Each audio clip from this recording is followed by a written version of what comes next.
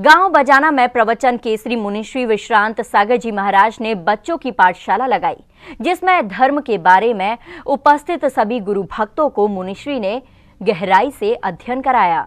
मुनिश्री विश्रांत सागर जी महाराज ससंग ने धौलपुर ज़िले के राजाखेड़ा स्थित गाँव बजाना में 27 जनवरी को बच्चों की पाठशाला लगाई, जिसमें धार्मिक संस्कारों के बारे में मुनिश्री ने बताया। उपस्थित सभी गुरु भक्तों ने मुनिश्री से ज्ञान अर्जन कर आशीर्वाद लिया।